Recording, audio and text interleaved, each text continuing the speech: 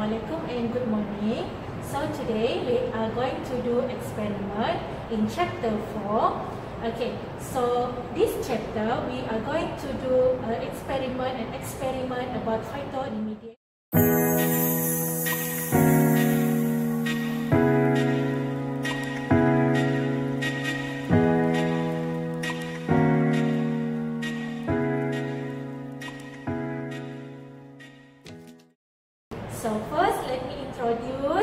The materials needed for this experiment. First, we need 10 liter of lake water. Okay, we need water hyacinth. And then we need ammonium chloride 10% and we have the ammonia test. Okay, so this is the water hyacinth. Okay, so first step is we remove the dirt from the uh, root of the water hyacinth.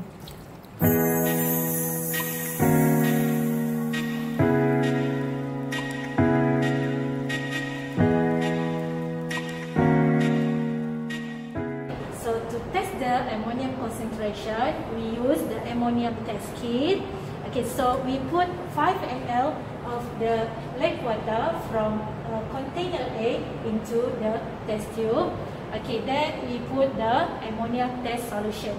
Okay, let's do this. We wait for 5 minutes and then after that we refer to the ammonia color card to, test the concentration of ammonia in this lake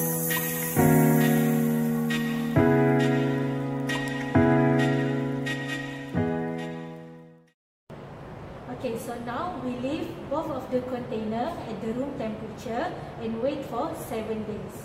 After 7 days, we measure the amount of ammonia in both container.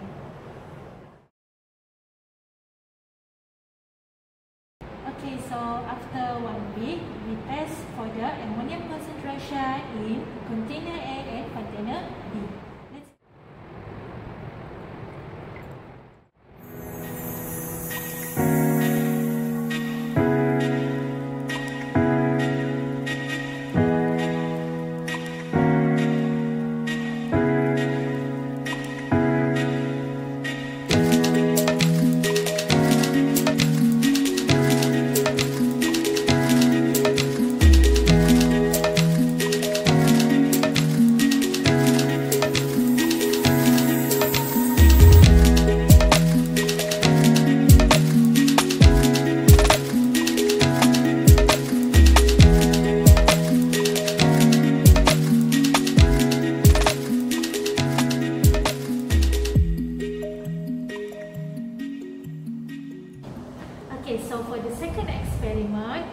study the effectiveness of phytoremediation plants in soil pollution.